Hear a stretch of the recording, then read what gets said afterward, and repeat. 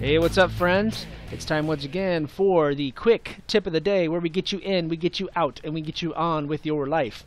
So today we're going to be talking about the fade edit, the option in Photoshop that allows you to fade from 100 down to 0%.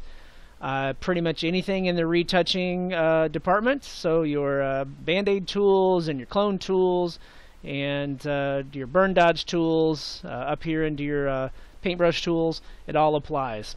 So we have a beautiful image of Danielle here. Danielle has a gorgeous little uh, you know beauty mark, but we're going to go ahead and retouch that out for uh, demonstration purposes. So I'm going to grab my spot healing brush over here take it out just like that. Now under Edit, we have Fade Spot Healing Brush. That will say, if you use another tool, it'll say Fade and then the name of the tool.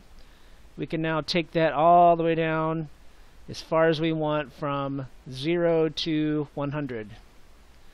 And I use this on all of my retouching all the time. I very rarely ever let the tool just do its thing. I always adjust it. So I can click OK. And there it is. Just like that. The fade option. Now, if you're a shortcut junkie like me, you're going to want to do it just a little bit faster than having to go up to edit. So we'll go ahead and work through the process again, and I'll do the keystrokes.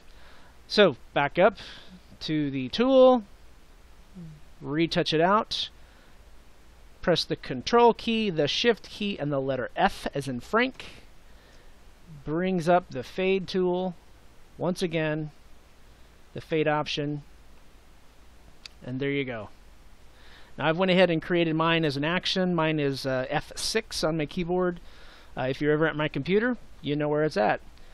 So there you go. That is the little known uh, fade uh, tool or little known fade uh, edit.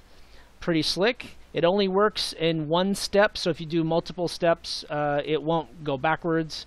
Uh, you can't control Z to go back and then use the fade tool. It's immediately following the tool. That's when it works. So I hope you found that useful. Thank you for tuning in. We'll see you next time.